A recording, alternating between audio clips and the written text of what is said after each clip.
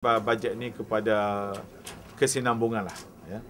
kerana kita telah pun meletakkan uh, uh, perkara-perkara yang penting agenda-agenda yang penting ya yang yang lalu sebelum pilihan raya. No, for, after all this is for the sake of the people ya.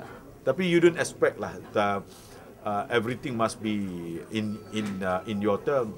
Kita nak tengok juga apa bendanya dan dan pendekatannya kita tengok buat satu-satu ya. Uh, yang mana yang boleh kita buat yang mana yang kita boleh buat cepat yang mana boleh kita buat lambat